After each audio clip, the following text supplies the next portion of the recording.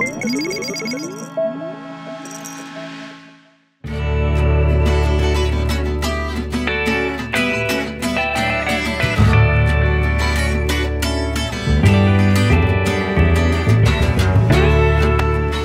രാജ്യത്തിന്റെ ചരിത്രത്തിൽ തന്നെ ആദ്യമായിട്ടാണ് ഇത്തരത്തിൽ ഒരു ചിത്രകലയിലൂടെ കോവിഡ് പത്തൊമ്പതിനെ പ്രതിരോധിക്കുന്ന സമീപനം സ്വീകരിച്ചിട്ടുള്ളത്. ചിത്രകല എന്ന് പറഞ്ഞാൽ ഒരു ലോക ഭാഷയാണ് എന്നുള്ള കാര്യം നമുക്കറിയാം. അതുകൂടി ഈ പ്രതിരോധ പ്രവർത്തനങ്ങളിൽ ഉപയോഗപ്പെടുത്തുക എന്നുള്ളതാണ് ഞങ്ങൾ ലക്ഷ്യം വെച്ചത്. മാസ്ക് ധരിച്ച ശ്രീബുദ്ധനും ഗാന്ധിജിയും കൊറോണയുമായി പോരാടുന്ന ആരോഗ്യ പ്രവർത്തകർ സാനിറ്റൈസറുമായി നിൽക്കുന്ന യുവതി കൊറോണ വൈറസുകളെ പരത്തുന്ന മഹാവ്യാളി അതിജീവനത്തിന്റെ കേരള മോഡൽ എന്നിങ്ങനെ കൊറോണ കാലത്തെ സ്ഥിതിവിശേഷണങ്ങൾ വടക്കേക്കരയുടെ ചുമരുകളിൽ വരച്ചു ചേർക്കുകയാണ് പഞ്ചായത്തിലെ ഒരു കൂട്ടം കലാകാരന്മാർ. നമ്മുടെ രാജ്യത്തിന് തന്നെ മാതൃകയാകത്തക്ക വിധത്തിലുള്ള വെബ്സൈറ്റ് അടക്കം തനതായി തയ്യാറാക്കിക്കൊണ്ടുള്ള പ്രവർത്തനമാണ് ഇതുമായി ബന്ധപ്പെട്ട് നടത്തിക്കൊണ്ടിരിക്കുന്നത്.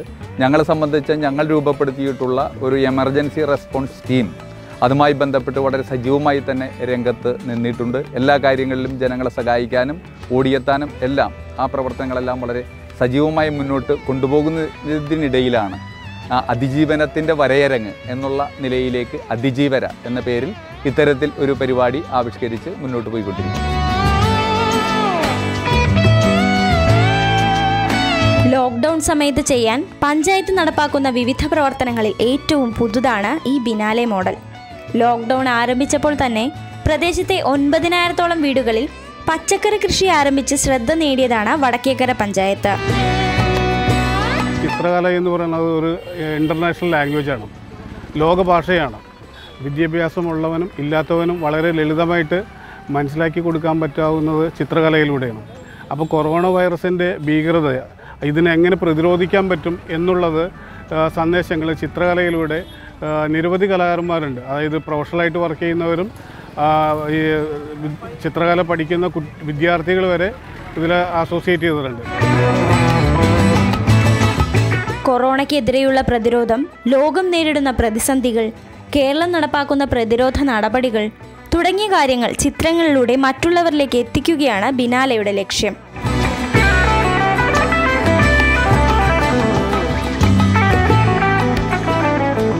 പഞ്ചായത്തിന്റെ എമർജൻസി റെസ്പോൺസ് ടീമാണ് ബിനാലെ ആശയം പങ്കുവച്ചത്. ഇതിനെക്കുറിച്ച് ഫേസ്ബുക്കിൽ ഇട്ടതോടെ നിരവധി കലാകാരന്മാർ പിന്തുണയറിയിച്ച് രംഗത്തെത്തി. വിദ്യാർത്ഥികൾ മുതൽ പ്രൊഫഷണൽ കലാകാരന്മാർ വരെ ഇക്കൂട്ടത്തിലുണ്ട്. അതിജീവന എന്ന് പറയുന്ന ഒരു പദ്ധതി. അത് ഇന്ത്യയിലെ തന്നെ ആദ്യമായിട്ടുള്ള ഒരു പദ്ധതിയായിട്ടാണ് വടക്കേക്കര പഞ്ചായത്ത് നോക്കിക്കാണുന്നത്.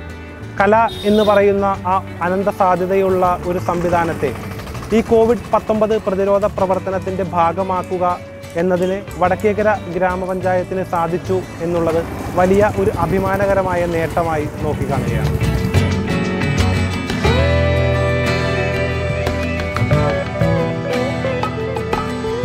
സാമൂഹിക അകലം പാലിക്കേണ്ട നിർദ്ദേശവും എല്ലാവരും തന്നെ മുഖാവരണം ധരിക്കേണ്ട ആവശ്യകതയും സാനിറ്റൈസർ ഉപയോഗിച്ച് കൈകൾ വൃത്തിയാക്കേണ്ടതിന്റെ അനിവാര്യതയുമെല്ലാം ചിത്രം വരയിൽ എടുത്തു പറയുന്നുണ്ട്. പെയിന്റ് കട നടത്തുന്നവരും നാട്ടുകാരും സ്പോൺസർ ചെയ്ത പെയിന്റാണ് വരയ്ക്കാൻ ഉപയോഗിക്കുന്നത്. കോവിഡ് സമൂഹ വ്യാപനം ഒഴിവാക്കാനും പ്രതിരോധ പ്രവർത്തനങ്ങളിൽ ഏറെ വ്യാപൃതയാവുകയും ചെയ്ത ആരോഗ്യ പ്രവർത്തകർ പോലീസ് എന്നിവർക്കും ചിത്രകാരന്മാർ തങ്ങളുടെ വരയിലൂടെ ആദരം പ്രകടിപ്പിച്ചു. ആരോഗ്യ പ്രവർത്തകരും പോലീസുകാരും വളരെ ശക്തമായ രീതിയിൽ തന്നെ രംഗത്തുണ്ട്. അതിനാൽ അതിനെ ഞങ്ങൾ ഒരു കാരണവശാലും കാണാതിരിക്കുന്നില്ല.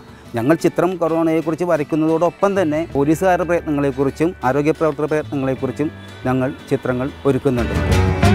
വടക്കേക്കര പഞ്ചായത്ത് ഓഫീസ് മതിൽ Moothakunnam P H S C Vadakkekara മൃഗാശുപത്രി Krishibhavan എന്നിവയുടെ ചുമരുകളിലാണ് ചിത്രങ്ങൾ വരയ്ക്കുന്നത്. ഉടൻ തന്നെ പഞ്ചായത്തിലെ പൊതു ചുമരുകളിലും വീടുകളുടെ മതിലുകളിലും അതിജീവന പദ്ധതി വ്യാപിപ്പിക്കും. ഈ പഞ്ചായത്തിന്റെ ഇരുപത് വാർഡുകളിലും ഇത്തരത്തിൽ ചിത്രകലയിലൂടെ ഈ സന്ദേശം എത്തിക്കുക എന്നുള്ള ഞങ്ങളുടെ ലക്ഷ്യം സാക്ഷാത്കരിക്കപ്പെട്ടുകൊണ്ടിരിക്കുകയാണ്.